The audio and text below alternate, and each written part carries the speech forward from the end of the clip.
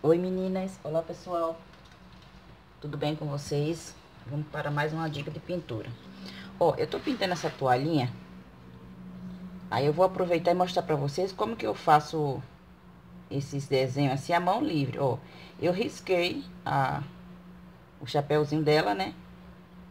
Ele é liso, ele não tinha desenho nenhum, só que eu, eu queria colocar uns desenhos aqui, ó. Aí eu vim com a mão livre e fui fazendo com o lápis 6B, fazendo as florzinhas em algumas partes.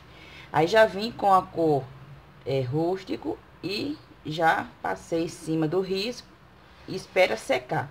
Aí depois de seco é que eu vou voltar, vou pintar todo o chapéu e vou mostrar pra vocês como que eu vou pintar essas florzinhas. Muitas vezes não, você não tem o, o stencil, um stencil assim pequenininho para fazer uns detalhes na pintura.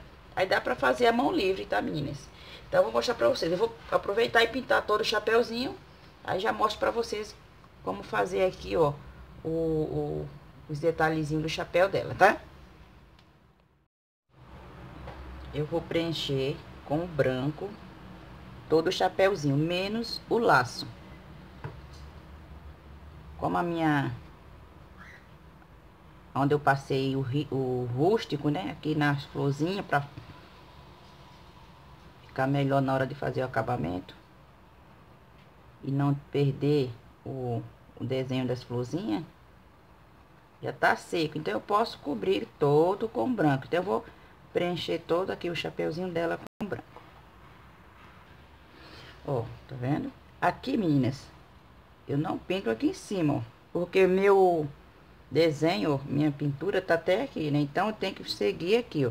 Na hora de riscar, era pra mim ter colocado uma fita aqui, ó, pra não, o risco não vir aqui pra cima.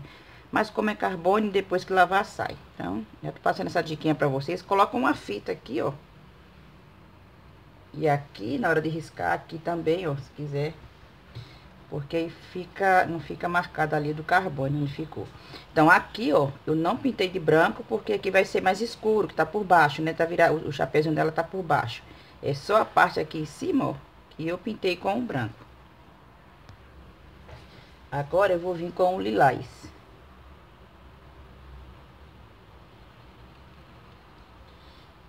Aí, vou fazer a sombra aqui, ó, por baixo do lacinho. Ó, tá vendo? Aí, aonde vai a sombra, eu venho com a cor lilás, tá?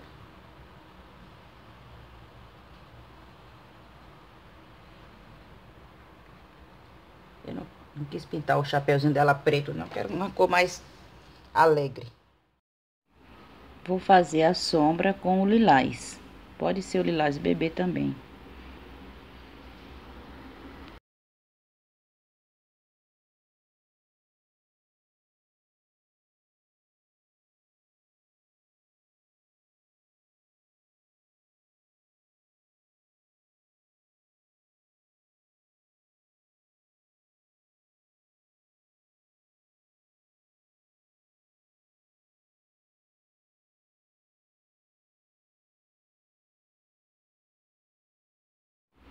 Essa parte de baixo eu vou preencher toda ela com lilás também.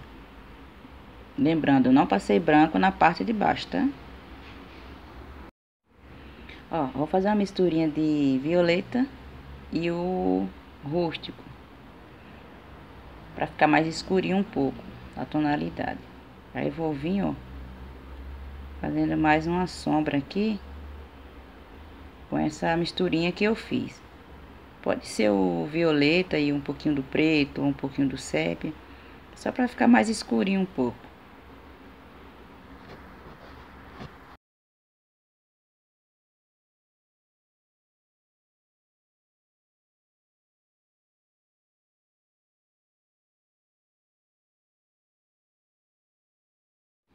Aí, vou colocar mais um pouco do rústico para ficar mais escurinho e vou fazer essa sombra. Como essa parte aqui embaixo do chapeuzinho, ele tem que ficar mais escuro.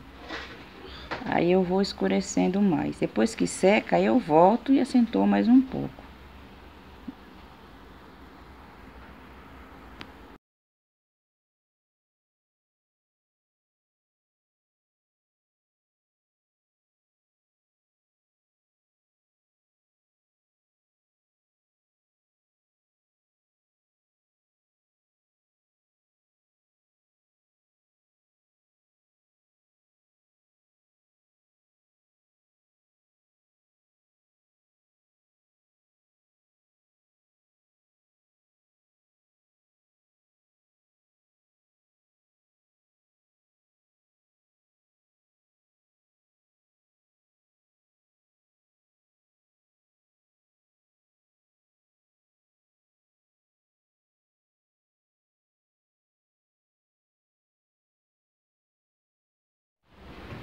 Pra, agora eu vou fazer o lacinho, então eu vou preencher o lacinho com...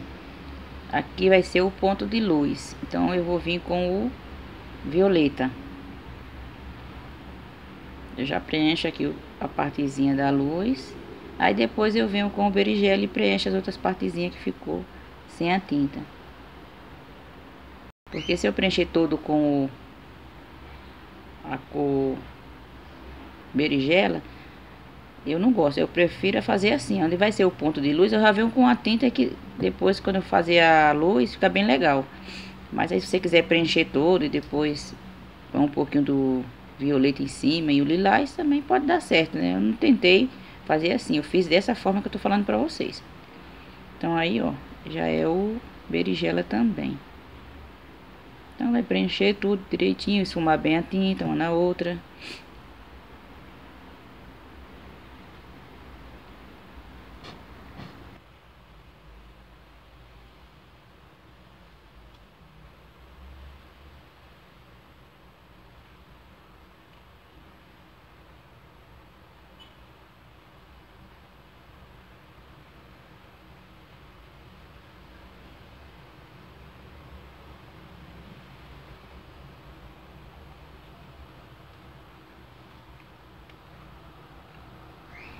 Agora eu vou vir com o lilás e já faço o ponto de luz, como eu falei pra vocês, tá vendo? Se não tiver o lilás, pode ser o branco, tá? O lilás bebê também dá certo.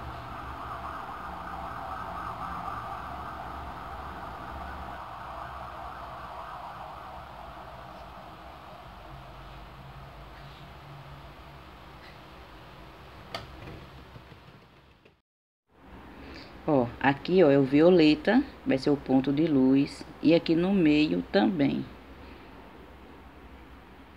Aí agora eu venho com o berigela e vou preencher. Sempre esfumando uma tinta na outra para não ficar manchado, né? É muito pequenininho esse risco, mas com jeitinho, com pincel pequeno dá pra fazer.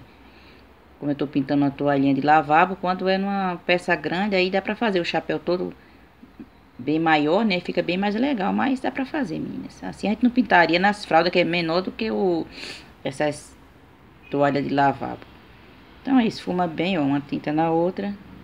Venho com lilás e vou fazer o ponto de luz.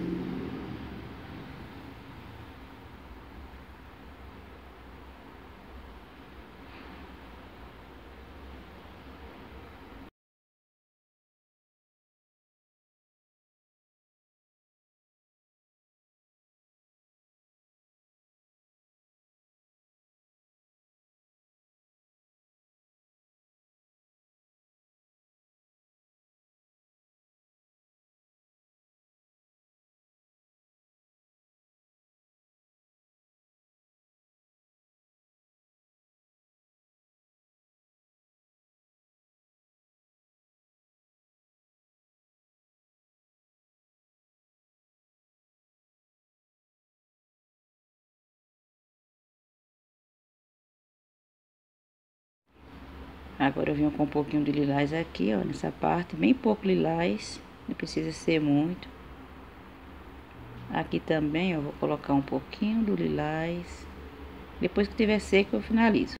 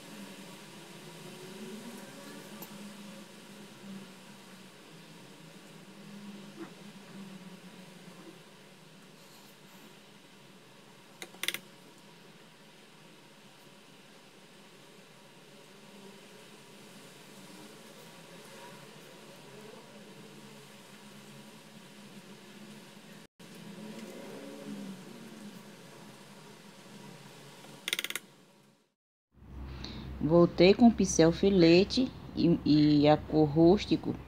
Aí vou passar, ó, em cima novamente do risco da florzinha, que como apagou, né?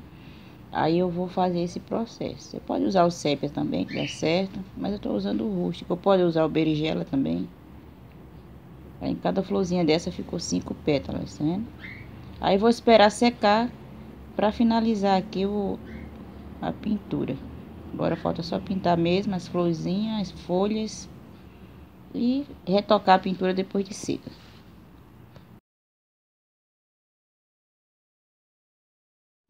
Aí como já secou, tem que esperar secar, porque se você passar o pincel em cima dessa tinta molhada preta, vai manchar, tá? Aí eu venho com a cor, é, tô usando verde maçã, uma cor clarinha. Você usa a tonalidade de verde que você achar aí melhor. E volto com violeta, ó, tá vendo? Em cima das florzinhas e vou preencher. Então ela vai ficar assim, ó. Aí venho com um pouco de branco, como tá tudo seco, né? Sempre esperando as etapas secando, tá, meninas? Pra poder ir fazendo o acabamento. Isso eu falo pra quem tá iniciando, tá? Já é craque aí na pintura. Aí, ó, vendo? Fazendo os pontos de luz. Então é assim que ficou meu chapéuzinho. Como eu falei, é um risco simples, mas que depois de pintado fica bem legal, né, meninas? Então espero que vocês tenham gostado. Para fazer o, o, a luz seca, tem que estar tá com o pincel seco e a pintura totalmente seca, tá? A luz seca e a sombra seca, tem que estar tá tudo seco. Não pode molhar o pincel, a pintura não pode estar tá molhada.